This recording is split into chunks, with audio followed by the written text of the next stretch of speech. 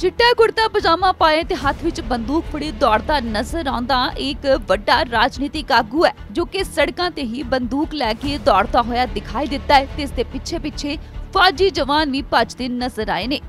Video social media ਤੇ ਕਾਫੀ viral ਵੀ ਹੋ ਰਿਹਾ ਹੈ, ਜਿੱਥੇ ਇਸ ਰਾਜਨੀਤਿਕ ਆਗੂ ਤੇ ਧਮਕੀਆਂ ਦੇਣ ਦੇ ਇਲਜ਼ਾਮ ਲੱਗੇ ਨੇ। ਵੀਡੀਓ ਦੇ ਵਿੱਚ ਜੀਸੀਬੀ ਮਸ਼ੀਨਾਂ ਨਜ਼ਰ ਆ ਰਹੀਆਂ ਨੇ, ਜਿਸ ਦੇ ਨਾਲ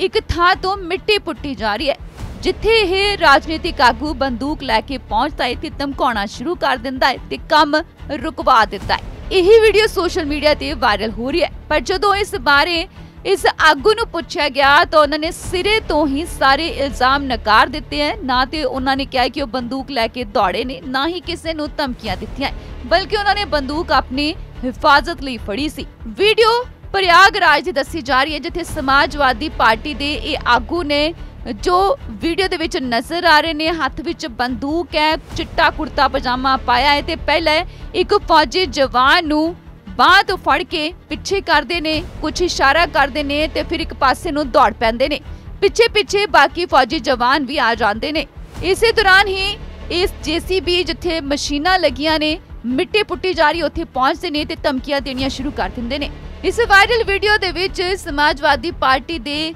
ਵੱਡੇ ਆਗੂ ਅਮਰਨਾਥ ਸਿੰਘ ਮੌਰਿਆ ਨੇ ਜੋ ਅਸਲਾ ਲੈ ਕੇ ਦੌੜਦੇ ਨਜ਼ਰ ਆਏ ਨੇ ਤੇ ਜਦੋਂ ਇਹਨਾਂ ਨੂੰ ਪੁੱਛਿਆ ਗਿਆ ਤੇ ਇਹਨਾਂ ਨੇ ਨਕਾਰ ਦਿੱਤਾ ਕਿ ਇਹਨਾਂ ਨੇ ਕਿਸੇ ਨੂੰ ਧਮਕੀਆਂ ਨਹੀਂ ਦਿੱਤੀਆਂ ਨੇ। ਆਗੂ ਨੇ ਦੱਸਿਆ ਕਿ ਉਹ ਇੱਕ ਪ੍ਰੋਗਰਾਮ ਦੇ ਵਿੱਚ ਸ਼ਾਮਲ ਹੋਣ ਦੇ ਲਈ ਪਹੁੰਚੇ ਸੀ ਤੇ ਉੱਥੇ ਹੀ ਉਹਨਾਂ ਨੂੰ ਫੋਨ ਆਉਂਦਾ ਆ ਕਿ ਉਹਨਾਂ ਦੀ ਜ਼ਮੀਨ ਤੇ ਕੁਝ ਲੋਕਾਂ ਦੇ ਵੱਲੋਂ ਕਬਜ਼ਾ ਕਰਨ ਦੀ ਕੋਸ਼ਿਸ਼ ਕੀਤੀ ਜਾ ਰਹੀ ਹੈ। ਜ਼ਮੀਨ ਤੇ ਰੱਖੇ ਹੋਏ ਇੱਟ ਤੇ ਕੁਝ ਬਾਲੇ ਵੀ ਉਖਾੜ ਦਿੱਤੇ ਗਏ ਨੇ। ਜਿਸ ਨੂੰ ਲੈ ਕੇ ਨਗਰ ਨਿਗਮ ਦੇ ਅਧਿਕਾਰੀ ਵੀ ਉੱਥੇ ਕਾਰਵਾਈ ਕਰ ਰਹੇ ਨੇ ਤੇ ਜ਼ਬਰਨ ਗੱਡੀਆਂ ਦੇ ਵਿੱਚ ਇਹ ਸਾਰਾ ਸਮਾਨ ਭਰ ਕੇ ਲੈ ਜਾ ਰਹੇ ਨੇ। ਇਸ ਦੀ ਸੂਚਨਾ ਮਿਲਦਿਆਂ ਹੀ ਇਹ ਆਗੂ ਦੌੜਦੇ ਨੇ ਅਤੇ ਉੱਥੇ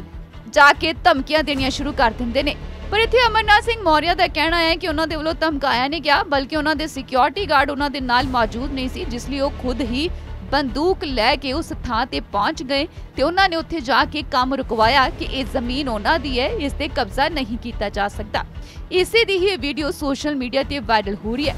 ਫਿਲਹਾਲ ਪੁਲਿਸ ਮਾਮਲੇ ਦੀ ਜਾਂਚ ਕਰ ਰਹੀ ਹੈ ਕਿ ਆਖਿਰ ਮਾਮਲਾ ਕੀ ਹੈ ਕਿਉਂਕਿ ਜ਼ਮੀਨ ਤੇ ਕਬਜ਼ੇ ਨੂੰ ਲੈ ਕੇ ਰੌਲਾ ਪਿਆ ਹੈ ਜਿੱਥੇ ਇਹ ਰਾਜਨੀਤਿਕ ਆਗੂ ਅਮਰਨਾਥ ਸਿੰਘ ਮੌਰਿਆ ਅਸਲਾ ਲੈ ਕੇ ਪਹੁੰਚੇ ਤੇ ਧਮਕਾਇਆ ਗਿਆ ਹੈ ਹਾਲਾਂਕਿ ਇੱਥੇ ਇਨਕਾਰ ਕੀਤਾ ਗਿਆ ਆ ਰਾਜਨੀਤਿਕ ਆਗੂ ਦੇ ਵੱਲੋਂ ਕਿ ਉਹਨਾਂ ਦੇ ਵੱਲੋਂ ਕਿਸੇ ਨੂੰ ਧਮਕੀ ਨਹੀਂ ਦਿੱਤੀ ਗਈ, ਸਿਰਫ ਜਾ ਕੇ ਜੀਸੀਬੀ ਮਸ਼ੀਨਾਂ ਨੂੰ ਰੁਕਵਾਇਆ ਗਿਆ ਸੀ, ਕੰਮ ਰੁਕਵਾਇਆ ਗਿਆ ਸੀ। ਇਸ ਵੀਡੀਓ ਦੇ ਵਿੱਚ ਕਿੰਨਾ ਕੀ ਸੱਚ ਹੈ ਇਹ ਤੇ ਪੁਲਿਸ ਜਾਂਚ ਤੋਂ ਬਾਅਦ ਹੀ ਸਾਹਮਣੇ ਆ ਸਕੇਗਾ। ਫਿਲਹਾਲ